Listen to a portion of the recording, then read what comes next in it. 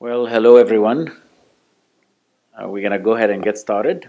And this is our first lecture for the year in our multimodality imaging conference. Um, I want to welcome all of you to the academic year. And usually in the academic year, at the beginning, we start talking about various imaging technologies. We'll start with ultrasound, with echocardiography, and we'll address all the others. We'll address nuclear, CT, MRI, uh, from a technical point of view as to how do you acquire the image, what are some of the advantages, disadvantages for each one of the technologies. Then we address uh, disease states and how do you evaluate them with uh, the armamentarium that we have in various imaging modalities, be it ventricular function, systolic, diastolic, etc. So I think um, uh, to get us started, uh, this is what we will be talking about today, is to have a feel for echocardiography and Doppler. How are the images uh, acquired? What's the principle? What's behind the ultrasound machine and your interpretation uh, screen that you're looking at? Uh, and it is so important because the image is modulated depending on how you acquire the image. You can do some post-processing, but most of the important information is acquired at the forefront, and therefore knowing what settings you have this machine and how do you acquire them, how much depth, how much gain, uh, what does it mean, uh, what's the Doppler like, how is it acquired, is it pulse repetition, is this high PRF, is this continuous wave Doppler, how about 3D? Um, believe it or not, we could, we could take this uh, lecture for more than one hour. You could spend almost half a day talking about the intricacies of ultrasound. And uh, ultrasound has really evolved over the years, and this is your family of techniques that we use. And uh, it is really amazing if you've been in the field for some time to see how really it has progressed, and yet the imaging principles are still the same. So here we have from M mode to 2D, 3D, some Doppler techniques, some contrast, etc. And, uh, and the imaging modalities are still uh, have the same basic. And the basic is that you take a piezoelectric crystal and piezoelectric, meaning that it uh, can be excited either mechanically or electronically. And it can vibrate to a point where you may not feel it vibrate, but it can emit an ultrasound. An ultrasound obviously is just like the name states it, it's beyond your hearing, your audible frequency. Audible frequency is up maybe to, if you have good ears, about maybe 20,000, 25,000. Uh, or you know, or 20 kilohertz or so, and beyond that you're not going to hear this ultrasound. And here we're talking about in the megahertz, so in the millions of, of uh, frequency, and therefore the wavelength is very, very tiny. And uh, the principle is I send this burst of, of uh, wave that goes and try to hit a either more reflectant or less reflectant uh, you know, object or medium. And um, in the past, you, I know you don't hear about it, but it used to be called an A mode. So if my reflection from that from that object or from that myocardium is stronger than the other, it's more reflectant, and uh, I can assign it an amplitude, and it will be an A mode or an amplitude mode. Now you could take this and turn it 90 degree towards you. So therefore you could change this amplitude to a brightness and therefore the more reflectant medium, be it calcium, etc., will be brighter than a less reflectant medium, which could be the myocardium. And therefore, you have a brightness mode. And believe it or not, 2D nowadays, the way you see it, is a manifestation of a B mode at different depth. And the way we know about depth is we know what the velocity of ultrasound is in the body in a biological medium, usually about 1500 meters per second. And if I send a little burst of ultrasound and wait for it to get reflected back, and if I know how long it took, therefore I know the, the velocity and therefore I know how deep it is.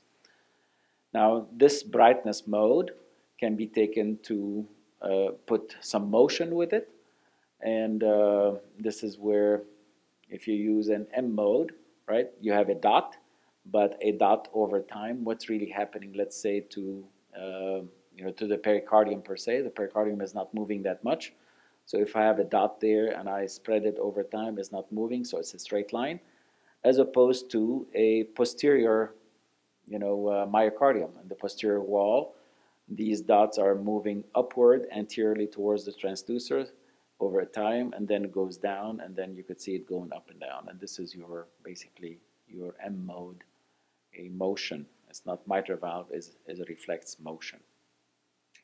And these are some examples that are obviously classic for most of you. This is uh, very well known. What happens to the aortic valve on top is the aortic valve is closed then it opens in systole, and then you could see it almost like a box because in systole there is not much motion after it opens and it closes. So you see this box motion. You could see uh, at the ventricular level, uh, you could see what's happening to the uh, septum itself. It goes in systole towards the LV cavity, mitral valve opens up a little bit, and then with an atrial kick, if you have sinus rhythm, you can see another Uh, wave to the mitral valve, and the bottom there is is basically your left ventricle. You could see thickening in systole, right, and some endocardial motion towards the center of the cavity, and that's all basically a B mode that is spent over time, and you could change that sweep speed if you want more time resolution, and this is your M mode from it. Okay. So if we take a look at this ultrasound picture, on this echocardiogram from the parasternal long, you start thinking, say, well, how, how is this image obtained, right? Uh, we have usually an ultrasound, a sector, as opposed to in vascular ultrasound or abdominal ultrasound where it's almost like a box. And the reason for it is we have to adapt and adopt a medium to go between the ribs. Uh, otherwise, you're going to have some shadowing because all the ribs will shadow quite a bit of the ultrasound. So therefore, that's why it is more of a sector emanating from a small point. And uh, the way this image is obtained is uh, goes back to the basics of ultrasound. And in the basics of ultrasound, and said, how do I? Uh, we talked a little bit about depth. Hmm? That if I send a little burst, and believe it or not, these bursts are packets. These are small packets, and the packets could be maybe three wavelength in a row, four wavelength, or five wavelength.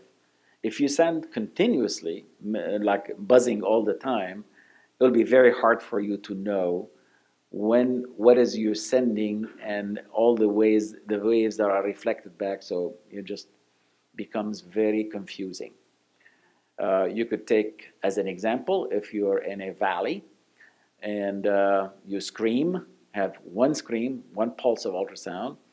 You can hear it reflecting back, so I can tell actually how deep this valley is from you back. But if you keep screaming all the time, you're, you're mixing your sound that is emanating from you with the reflected sound from the mountains, and you're not going to be able to tell the depth of these mountains. Okay? So that's the same principle here. Is I will send a little packet, and where I'm going to send it, I'm going to send it along the line of, you know, a, a line of uh, where the ultrasound is going.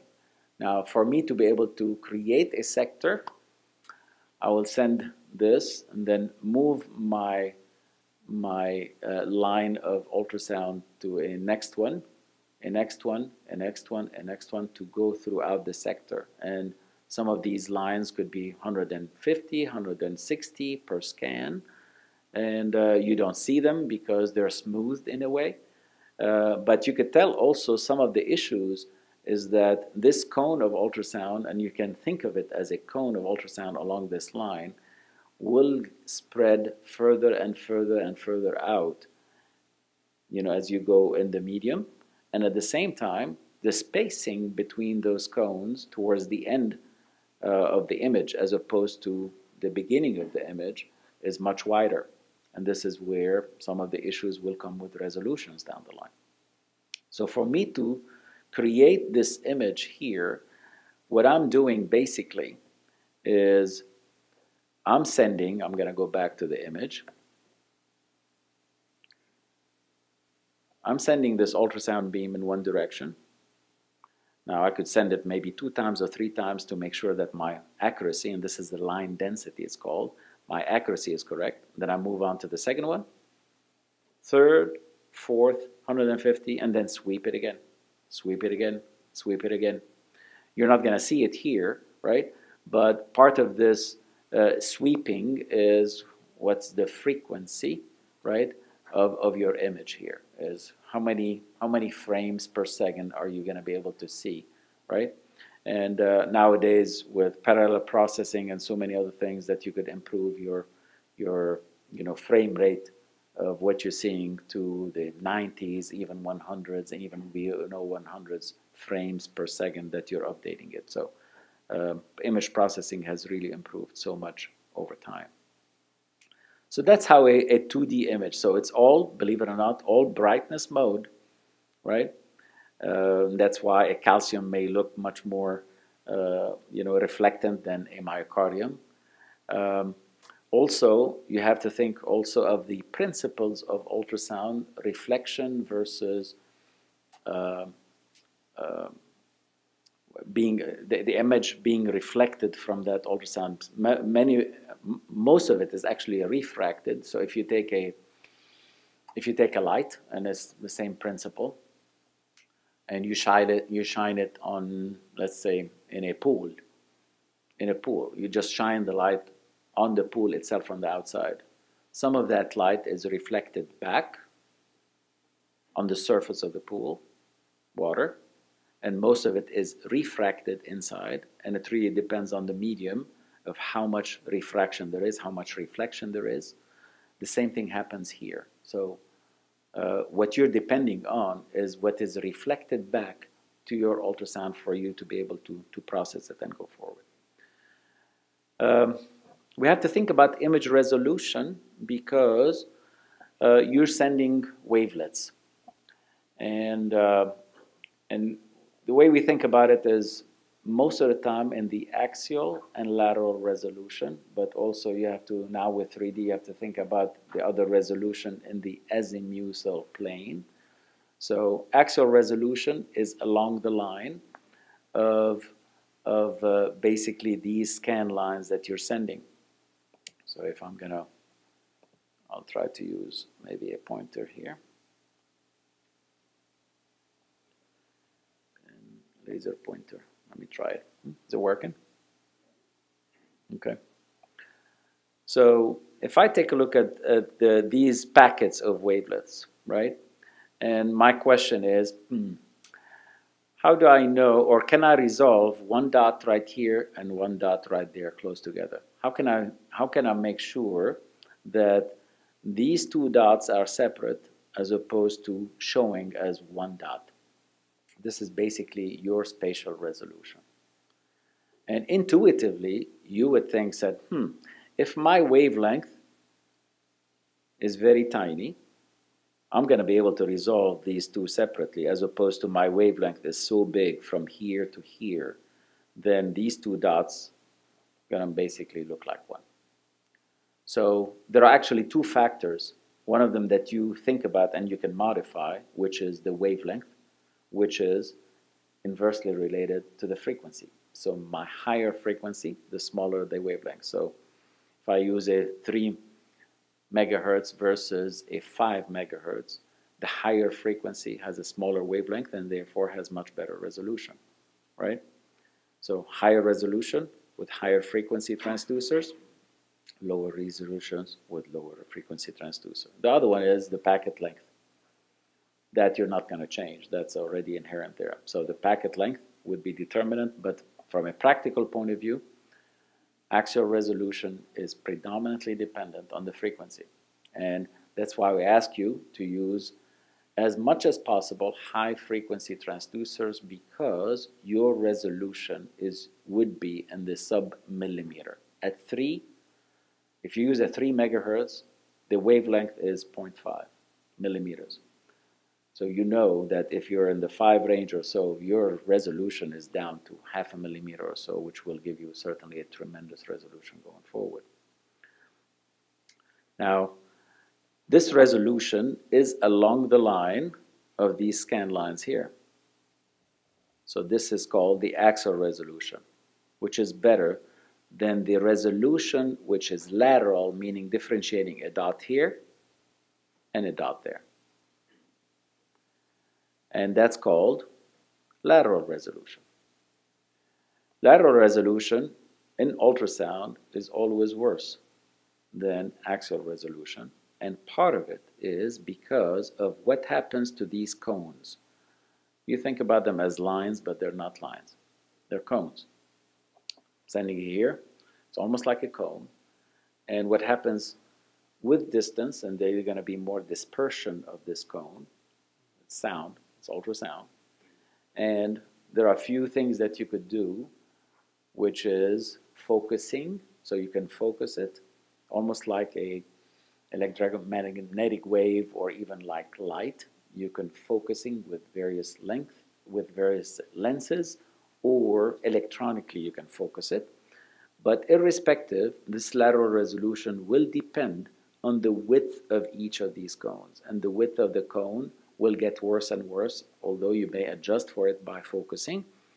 Usually it will get worse as, as when you start going further and further from your transducer here. Okay? So this is your lateral resolution.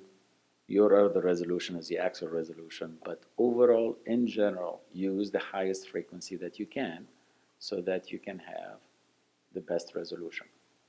Now, one caveat to that is the higher the frequency, the smaller these wavelets are, right? The smaller the wavelength, the less power you can have. So you have to play with penetration into the body versus resolution. So if I use a 7 megahertz, let's say, I may not be able to penetrate as well, so the image may not look as good, although I may have a higher resolution. And therefore, that's why you play this multi-frequency transducers to try to aim for decent penetration at the same time as a decent resolution. And you could see that interplay when you do transesophageals if you want. If you're if you're in the transgastric window and you're far from the heart, you may want to reduce, hmm? you reduce your frequency so that your penetration is better. As you go back up towards the aorta, you're very close to it. You may want to increase your frequency, that's what I usually do, so that my resolution is much better in the aorta. So this is where you as an operator will come into play and, uh, and, and improve this penetration versus resolution. Uh, instrument controls are very important, obviously, and this is overall gain, time gain compensation, lateral gain compensation, reject compression. All these here are, believe it or not, post-processing. Meaning, I have my transducer here. It has all these nice tiny crystals, uh, quite a few crystals. This is a science by itself, believe it or not. I send this ultrasound, these packets of ultrasound. I steer them if I need to steer them. Uh, the ultrasound is, is uh, gotten back to the transducer. It excites this transducer again, right? I can move this electronics back into imaging. That's how I resolve the image. But most of the things that I do, gain, increase the gain of all the image. time gain compensation, I can increase the gain at a certain depth. And it's called time gain compensation because, believe it or not, depth is time in a way in ultrasound, right? Reject or compress, depending of where do you want to you know, take this rejection. All these are post-processing, meaning I'm not changing the amount of energy I'm sending in. All what I'm changing is the display of the total gain, etc., etc., was coming back. The only one that is actually an output power is what's called the mechanical index. And that in the past, obviously, is regulated based on safety. mostly, meaning that obviously you can have so much energy to destroy a, uh, an organ, and uh, you know that energy, for example, is used for lithotripsy. Uh, you, you can send so much energy that you could destroy. So for ultrasound imaging, the energy is kept low. The mechanical index usually is no, no bigger than 1.4, 1.5, etc. But we've made much more aware of the mechanical index because of contrast, right? Contrast, using contrast, the higher mechanical when you send more energy, you're going to destroy them much more, and therefore you're much more sensitive to it. So before contrast, it was kind of in the background, and now it's much more in the forefront because otherwise you're not going to be able to display good images. And what's this mechanical index? It's peak negative pressure divided by the frequency. So if you take a look at just one wavelength there, uh, the peak negative pressure is, is basically how much negative pressure in that descent portion of the wavelength is. So you know, in contrast, uh, you can compress the little tiny bubble if you want to. You're not going to destroy it if you compress it. But on the negative portion, this is where you can expand it so much that basically it will destroy. A uh, few other things in ultrasound that you have to kind of keep in mind, and these are some of the artifacts that you see. Uh, some of the reverberations, there is attenuation. Attenuation is very important. And take an example. Uh, prosthetic valve, big calcification of the annulus, let's say. What's going to happen is I send my ultrasound, and most of it is reflected back because this density of the material is so high. I'm not going to have, most of it is reflected back, so it will look very bright. But what's happening behind it is since I'm reflecting most of this ultrasound, very little is going through it, so there will be a big shadow behind it, a big blackness. And that blackness will prevent you from seeing things behind it. So behind calcified valves, behind big calcifications, behind whatever it is reflectant, you're not going to see as much. And once we get to the Doppler portion, you're not going to be able to, to interrogate with Doppler because penetration of ultrasound is part of Doppler equation. If I don't get any ultrasound going further and further, I'm not going to be able to ask the question is how much frequency was changed. Uh, you're going to have also some reverberations. Some uh, here you go. You have you have some right here in a prosthetic valve and the and with a with a thrombus in the in the atrium. Uh, you see this reverberations and shadowing and uh, just bad artifacts. And some of that is some of these reverberations will be reflected back back and forth, back and forth between the medium of, of the ultrasound transducer itself as well as you know the, the more reflectant one. And at times also if it is if things are close to you and reflectant, uh, take a look at this you know apex. Uh, is there is there a thrombus in this area? Yes or no? Is this an artifact? You can't tell at times. And, and why, why do you have this abnormality here, or what looks like an abnormality? Believe it or not, this highly reflectant area that you see, which is your first phase of the pericardium or epicardium, is reflectant enough that the ultrasound waves are reflected back to the casing of the ultrasound and it gets reflected back here, back and forth, back and forth. So you have some reverberations and uh, you know more, believe it or not, even more harmonic uh, that is uh, produced, and therefore you don't see it as as really as nice as you'd like. And nowadays you could use harmonic; it decreases some of that clutter that you see in the apex. But you can also use contrast that will define it and see whether indeed there is a thrombus, yes or no. So this is a historical slide because really the technology has evolved so much over time we have fully digital systems nowadays. We grew up in the days of video, not digital. High frame rates nowadays is, is part of routine. Uh, image quality certainly better. In the old days, multi-frequency transducers were not there. They were not broadband. So a transducer, you would, you would have a series of transducer on the machines. One of them was a 2.5 fundamental, the other one was 3, the other one is 3.5, another one is 5, the other one is 7. And then if you wanted to change from one, trans one frequency to another to improve resolution, you had to change the whole thing. Nowadays you have broadband, so it's much more, and then you could decide electronically which frequencies I want to emphasize. You'd like to emphasize most of the time the higher frequency, and if you can't, you just change it, decrease it, have more penetration, etc., etc. Harmonic imaging, very important. We'll talk about it. Tissue Doppler, digital image, 3D. This is all what we're going to talk about today. Harmonic. What's harmonic? Well, harmonic is when, when I send a certain frequency, and none of the frequencies are really pure. You have a major, let's say most of the frequencies are, let's say, 3 megahertz or something that you're sending. Uh, you'll have some a little less, some a little more, but the vast majority is around this, what's called fundamental frequency. This is the frequency that you're sending at with this. Okay? Now, uh, interesting enough, depends on how the tissue responds to this frequency. We thought initially that myocardium will respond just the same, meaning if I send a 3 megahertz uh, frequency, I'm going to reflect back 3 megahertz frequency, and that doesn't change. Uh, I'll give you an example where if you play an instrument, if you play a piano or a guitar or a string instrument, right? If you hit it gently, it will emit at that fundamental frequency, whatever that frequency is. If you hit it harder, it will emit the fundamental frequency and multiples of it, right? So if you want to imitate the sound, if I hit a, let's say a C note, bam, okay, that's my C note, that's my frequency. If I hit it harder,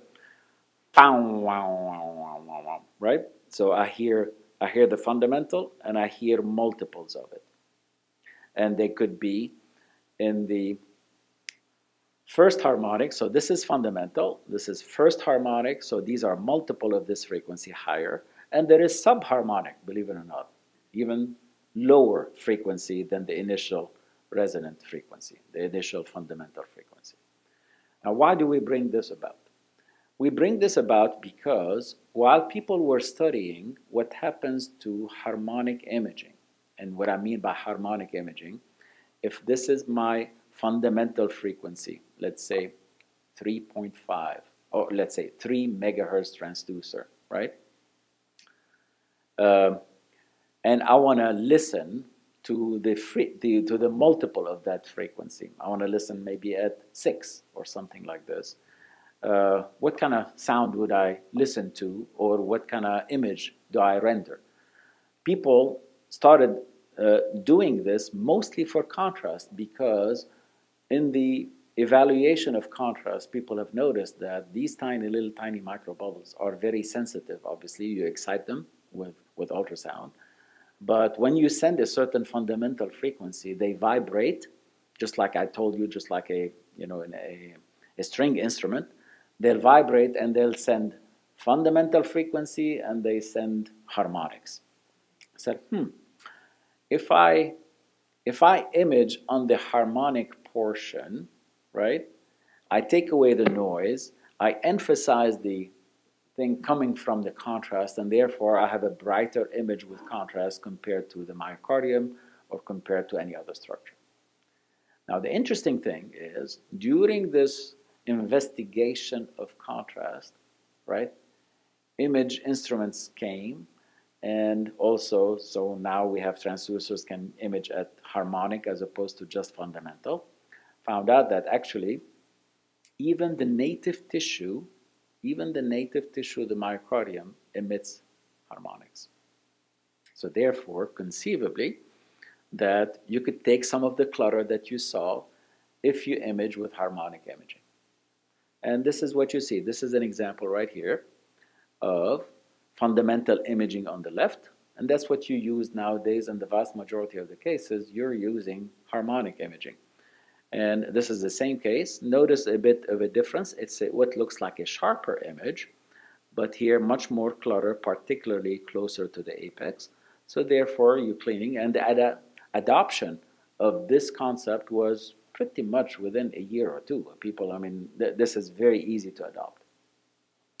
Now, remember one thing though, that if I'm if I am imaging at harmonic, meaning if I'm imaging at this frequency here, my fundamental frequency hmm, is half of it. So if I if I look on the machine and say 3.5 megahertz harmonic with an H or whatever the, whatever this machine tells you, it means that it means please stop.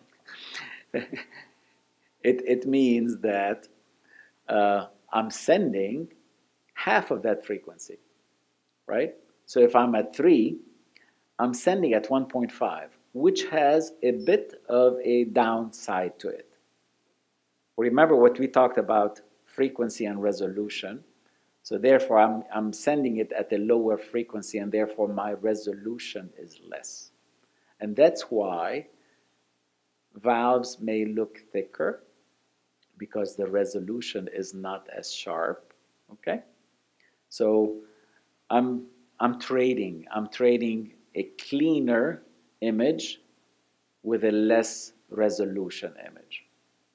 So you have to kind of keep thinking around. That's why I tell the fellows don't don't call thickening of every every valve because they may not necessarily be thick. They may look thicker, and people have studied that, and actually it's a little thicker than if you use fundamental imaging at a higher frequency, right? So there's this little trade-off of a cleaner image with less clutter compared to mm, a little bit of lesser resolution. Now, uh, you're not novice. Uh, this is contrast imaging.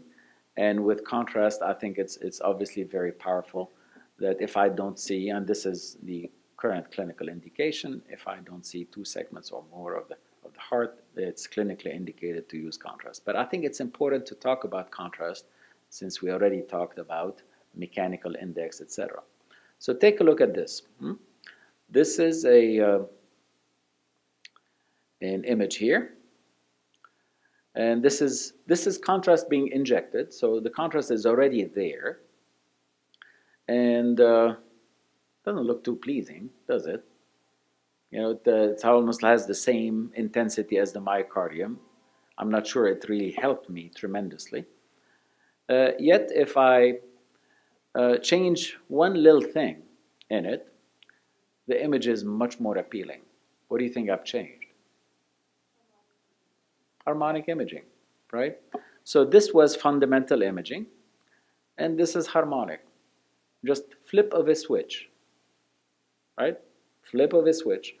So I'm emphasizing much more the harmonic, you know, reflections of this ultrasound, right? So I sent a certain fundamental frequency and the harmonic, uh, I can't even see it here if it is. Yes, here it is. 3.5 megahertz harmonic, right? So what I sent was not 3.5, was one, uh, whatever it is, half of 3.5, right? But at the same time, I've emphasized much more the harmonic images. And in this heart, contrast will have much more signal from harmonic than myocardium, and that's why you can differentiate it much better. So this is, this is really number one for you to keep in mind regarding harmonic, etc. Uh, how about Doppler? Okay, so we talked about MO2D. We talked about brightness. We talked about resolution, axial and lateral resolution. Uh, we talked about fundamental and harmonic, that harmonic is, is important both in regular imaging with a little downside. So if things may look too thick, just go back to fundamental and higher frequency.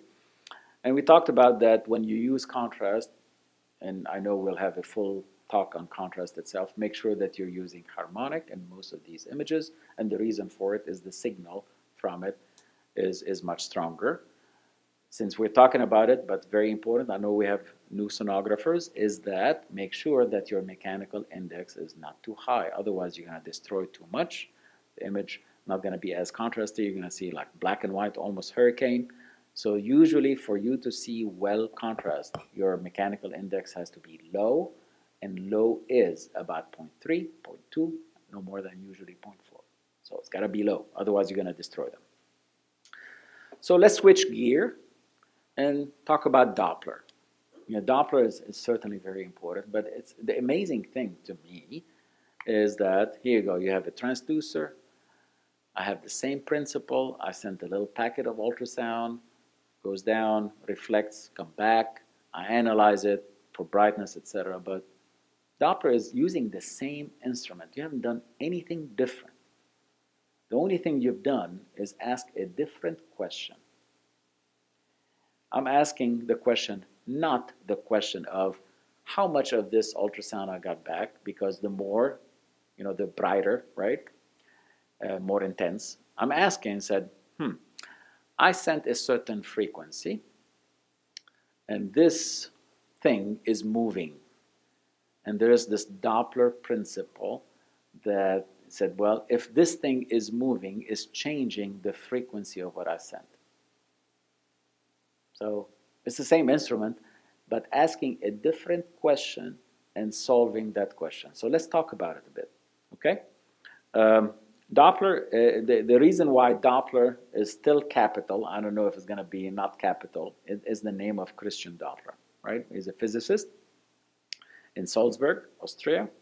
I actually went to where his uh, his you know site was is, is no longer that site. Actually, is pretty close to a Mozart site where Mozart was, was uh, just imagine. I mean, the these giants, one in physics one in one in music, and uh, so believe it or not, in the 1800s, you know, this individual recognized that because the stars were moving in different parts, they, they have a, a shift in color.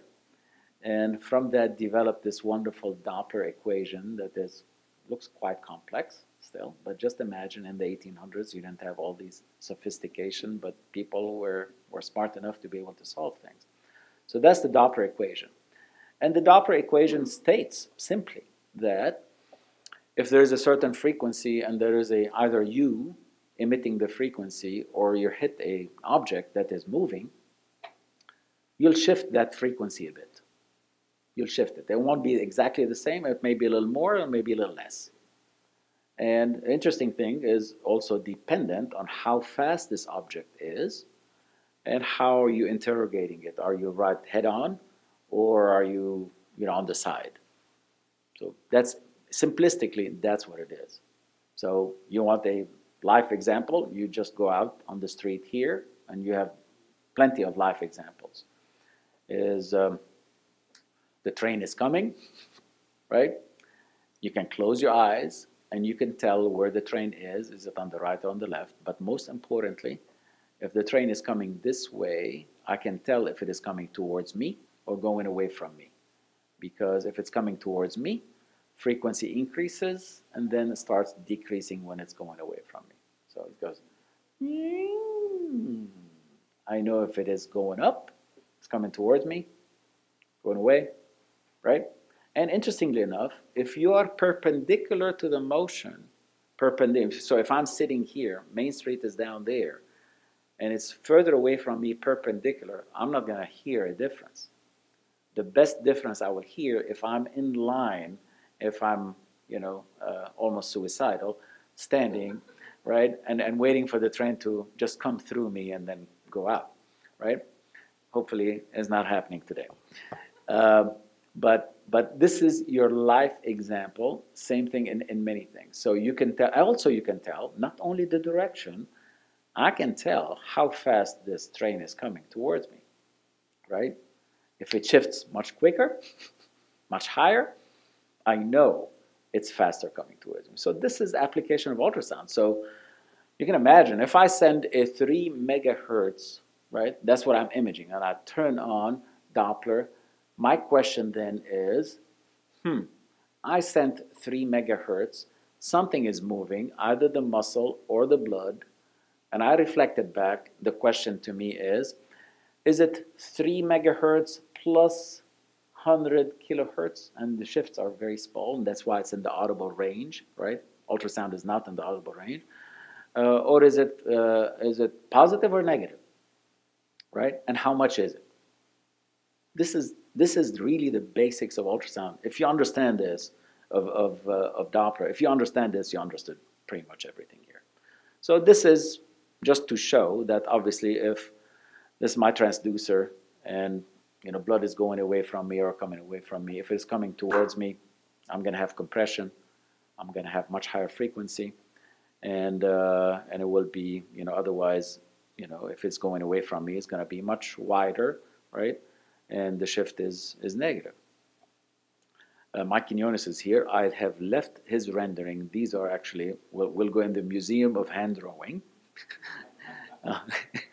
all right.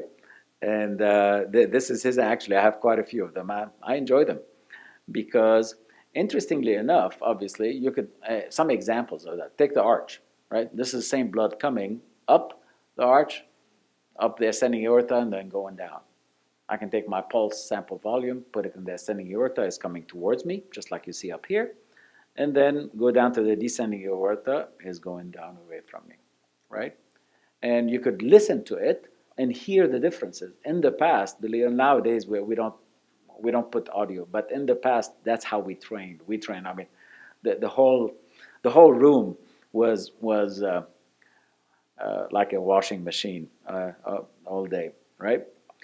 But this is the equation, amazing equation that Dr. Doppler uh, came up with. Uh, I'm going to go down, go to the velocity, uh, or, or we could start with the frequency shift. This is since we talked about the frequency shift is related to the velocity, just like we talked about. The emitting frequency, whatever that initial frequency, and also related to cosine of the angulation right? Cosine of the angle. If the if co cosine zero is one, so you don't have to worry, or you know 180 is also minus one, but if you're at 90 degree, cosine zero is zero, and therefore have cosine 90 is zero, and therefore you don't have a frequency shift, right? So I want you to take it down to the equation below because that's what you see nowadays. When we trained, the y-axis was not velocity, was frequency shift. You see what I mean? So here, nowadays, all the instruments are displaying velocity. And you see 1 meter per second, 2 meters, 3 meters, etc., right? But it's already accounting for the frequency shift, obviously. It solved the equation, the emitting frequency. It's assuming that cosine theta is 1, meaning there's no angulation, and you know the velocity of sound in, in, you know, in the body. So it's solving the equation for you, and therefore it's important for you to know whether you're angulated yes or no, because this is your major issue of whether you're really hitting the frequency, uh, you know, parallel to it or, uh, or not. And uh, this is one of the uh, other drawings here telling you basically that if we have an angle of usually 20 or above, okay, and then you start significantly underestimating what the frequency shift is and therefore what the velocity is of blood. So that's, that's the importance of it. So that's the, that's the general principle. Now let's go through pulse and CW because they are important.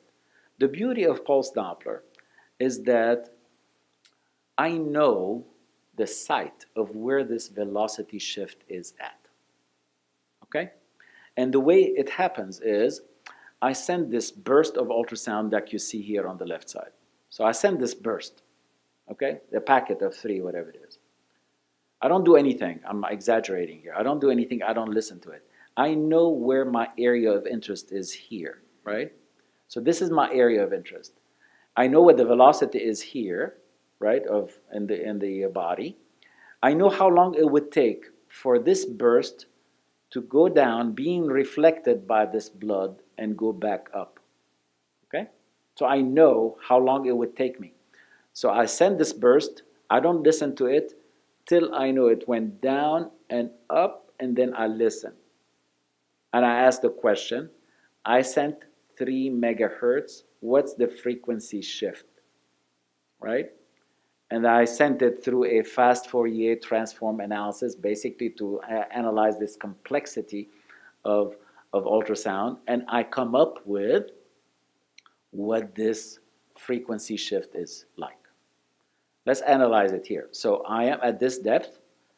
I sent this packet of ultrasound, it came back, and I asked the question, and I solved it. This is my velocity here, this is my time, right? These are, you know, reflectant from whatever medium, and these are the red cells in the, in the blood. Most of them are going at this velocity, then there is a spectral dispersion, meaning some of them are going a little lower than others, etc., right? And then they decelerate. That's how you get it.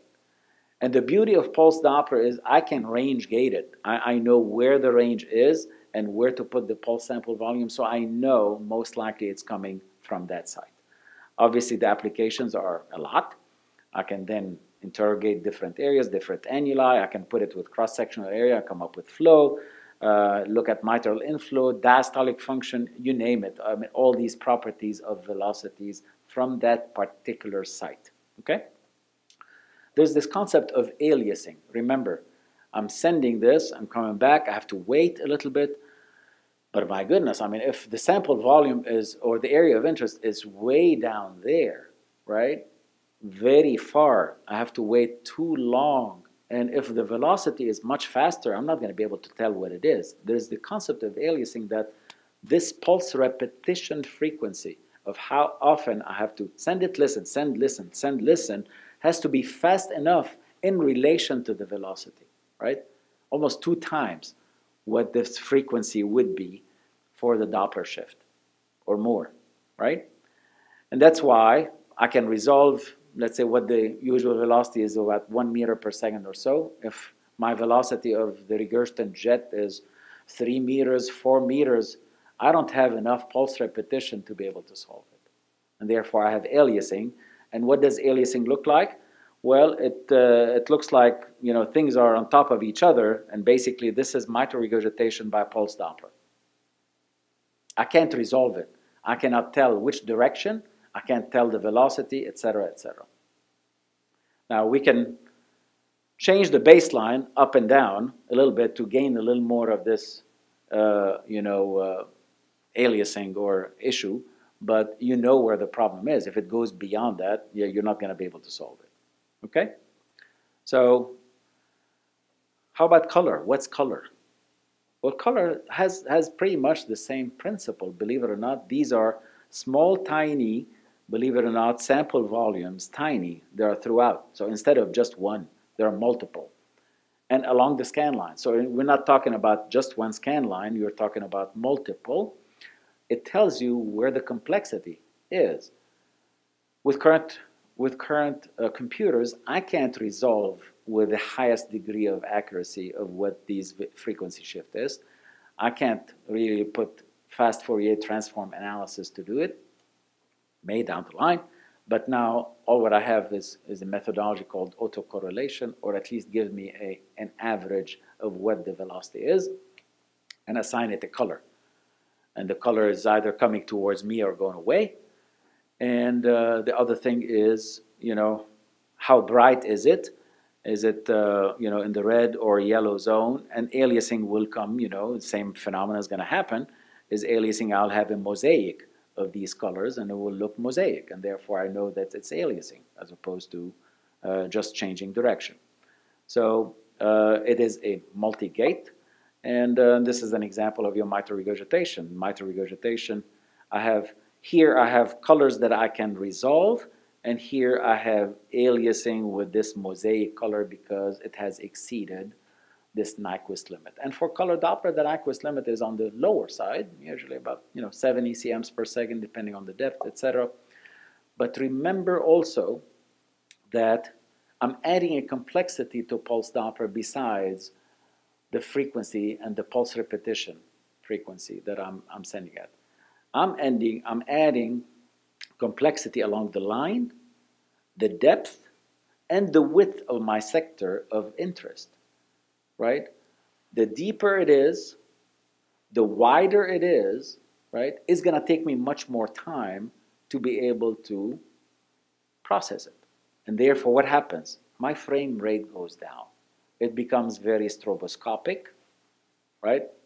And therefore, it may not give me this, you know, in time, real time motion of, of blood, of, of flow. And therefore, you have to optimize the image for color predominantly, right? I wouldn't bring shrink the whole image for color. You could do it for color, and and depend on where the area is. I think uh, that's very important. From a uh, ideally, you'd like to have a frame rate above 15, closer to 20 and above. I think would be great. So to have you know like what looks like real time.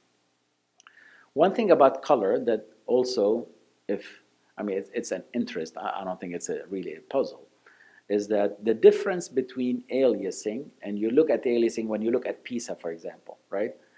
When you look at proximal isovelocity surface area coming in, you're looking for this shift from one direction to another so I know what the velocity is. Here, the difference between changing in direction versus aliasing, if I change in direction, I go through a black period right? So this is coming towards me. It's more on the yellow reddish hue. This is going away from me more bluish. And then when it comes perpendicular to it, I'm going to have zero frequency shift, and therefore it will be black, as opposed to just aliasing, changing from one color to another without a black zone in between. Okay? So factors that influence color, obviously gain, unfortunately is not gain independent. It's very gain dependent. Color map, frame rate, Nyquist limit. We talked about all that, and this is, you know, a MS AI. If I overall I get a much higher gain, the AI will look much worse than what it is. And uh, you know, what's our usual? Our usual is you increase your gain enough so that you have a little clutter in the background. You come back a little bit, so at least crude. Sorry, it is crude way to optimize gain, but this is the convention to optimize gain on a, on a particular individual. The other thing is Nyquist limit, very important. This is the same jet, okay? Same jet, right and left, okay? Much thinner on the right side with an appropriate Nyquist limit. If I use a Nyquist limit that is small, right? Look what happens to the jet. It looks why? Because you're emphasizing the low velocity. You're emphasizing every little motion that occurs in the atrium and the ventricle, and therefore your eye is fooled by how big the jet is. Notice that. Keep that in mind, right? This is 21, low, appropriate at 57. So most of the appropriate Nyquist limits for you to evaluate jets should be between 50 and 70, somewhere there. At times you may bring it down bring down the Nyquist limit to emphasize for whatever reason low flow, but this is rare. And you want to make sure that you bring it back up to your overall evaluation because at times you may be called to the OR because of severe MR. Said, no, oh, the patient had no severe MR, and it has happened. It has happened, right? So keep that in mind because this is very important. Frame rate, we talked about it. I think this is very important to, to optimize frame rate for Uh, patients with regurgitation, and I know we will have sessions for optimization and evaluation of regurgitant lesions and mitral regurgitation. I want to spend just a little time on pulse repetition frequency. You can fool the system, what's called high PRF. At times you've seen it. Basically, instead of just looking at one area here, how I'm going to fool the system to give me a much higher pulse repetition frequency and therefore I can I can resolve higher frequency. Uh, actually, I can put a sample volume right here, believe it or not, and say that this is my area of interest. So I go back and forth, back and forth, back and forth between this area of interest. But believe it or not, when you listen the second, the third, the fourth time, the fifth time, what are you listening for? You're listening this area, a multiple of it, this and this and this and this and this. So that if I have somebody with aortic stenosis right here, right, and I'm using a high pulse repetition frequency, I can resolve three meters per second or so, I can actually detect and record the aortic stenosis, which is way down. We had to use this in the early days before optimization of CW, et cetera, et cetera, but now you have continuous wave Doppler and, and you don't have this, the, this issue as much. And what's continuous wave Doppler? Well, I have two crystals here, or at least two transducers within one. I'm sending continuously, right? And I'm listening continuously. So what do I lose? I lose the range gating. I, I lose where exactly along this line these velocities are happening. So it's a conglomerate of everything that's going on. What's the gain? The gain is I'm not limited by aliasing anymore. So I can resolve very high velocities, right? So that's the pro and a con. It's along the same line, along whatever cone of ultrasound, and this is how I can resolve basically the high velocities. Tissue Doppler, interesting enough, when you use color Doppler for flow, you don't look at tissue because of inherent, uh, they're very different. Tissue Doppler, much stronger signal because it's coming from muscle, much lower velocity. Blood, lower signal, higher velocity. Very easy to put a filter and say, forget about muscle, give me blood, or forget about blood, give me muscle. Right? And we've ignored this for, you know, almost 20 years or whatever it is, and then people have started to look at it and all the beauties of what comes with tissue Doppler, myocardial properties, diastolic properties, you name it. Speckle tracking. 15 or so, almost 15. I was at the first presentation, it blew my mind of how can you really track because your eye is trained gradually to try to track where the individual pixels are going. But speckle tracking is, is really amazing to be able to track things. So therefore, you could solve torsion, you could solve, you know, uh, strain, and uh, strain basically is deformation. So if I start with a certain length of 10 centimeter and I compressed it, I have a strain of minus 20% because it's negative. And um, if I lengthen it, well, it's a positive strain, right? And we know in the myocardium there are all these changes, and if there's no change at all, there's, you know, no strain. And uh, the classic one is look at thickening of the posterior wall and the septum in an M mode because you could measure diastole and systole and see how much thickening there is. But the beauty of it is taking it to other views from the apical view where, you know, speckle tracking is angle independent as opposed to Doppler. And then you could use strain rate, the rate at which these changes in deformation is occurring. So this is a slow strain rate as opposed to a much faster strain rate. A bit noisy of a signal, so we don't use it as much.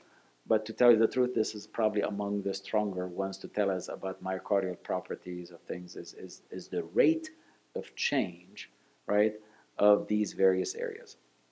And you think of uh, different strain.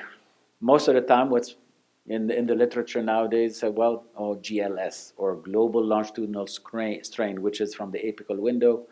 Uh, great to follow people with, uh, you know, uh, cardio-oncological issues, etc. Very sensitive marker, but but I would caution you because it is uh, when you look at deformation and strain, it's not only in this plane. The heart is is, is being deformed. So if it is deformed in the longitudinal plane, something is happening in the radial and the circumferential area. I'll, I'll give you an example. Hypertension when people have hypertensive heart disease, GLS, global longitudinal strain, is reduced, yet circumferential hmm, and radial strain increases. That's why ejection fraction stays the same or maybe increased. So there are changes, adaptation to the heart in various diseases that can occur. So yes, it is a sensitive marker for GLS, but you have to think about the whole myocardium and what's being affected. GLS is much more you know, affected by endocardial fibers as opposed to the more mid or epicardial fibers, and it has its own things. And nowadays, it can be nicely performed uh, with uh, you know automation. This is a normal heart, and this is a really very bad heart. Uh, you don't need strain to tell you, but I'm pretty sure it, it really looks bad, you know, going there. And you know, it has a lot. I mean, throughout the year, we will we will be talking about it digital image is, is beautiful nowadays. It's taken for granted. I think it's been going on now for 15 plus years at least.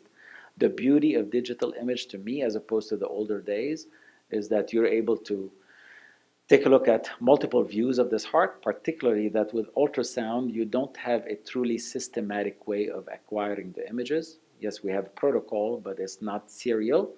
And for you to quantitate, you really need to take a look at this and avoid foreshortening. I know we'll be talking about that. 3D came on board, and I think 3D is important, particularly for volumetric measurements and spatial allocating spatial things in, in, uh, in the myocardium, be it structural or at times even functional. And I think the images have evolved in a way to uh, capture in a single beat that you could capture the myocardium.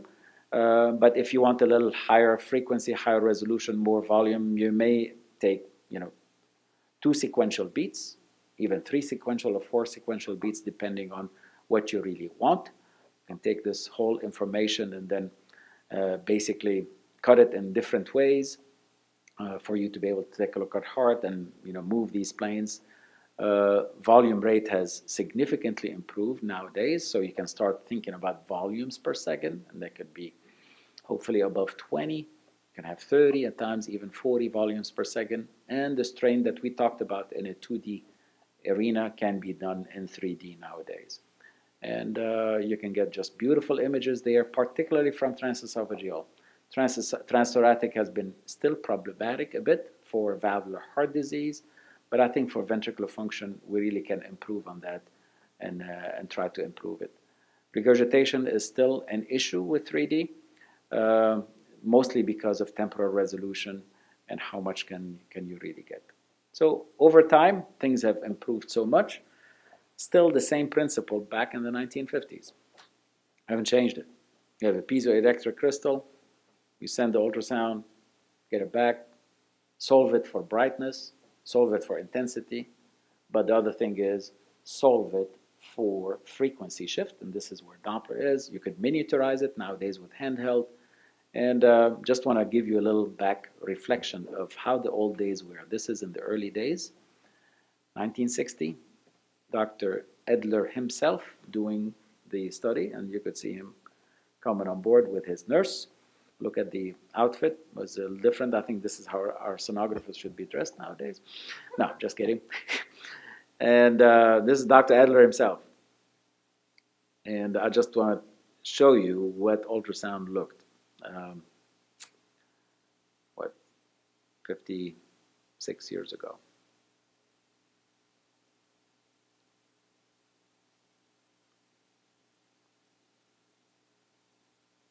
There you go. What is that mode? A mode, indeed. And we've evolved over time. And uh, uh, it really is amazing what you could do nowadays. So uh, keep those principles in mind because they are important as you navigate, optimize images, interpret images, uh, be it from the physics point of view, the artifacts that you can get, the optimization of Doppler, etc. Uh, and I think that will help you in the long run. So thank you very much for your attention.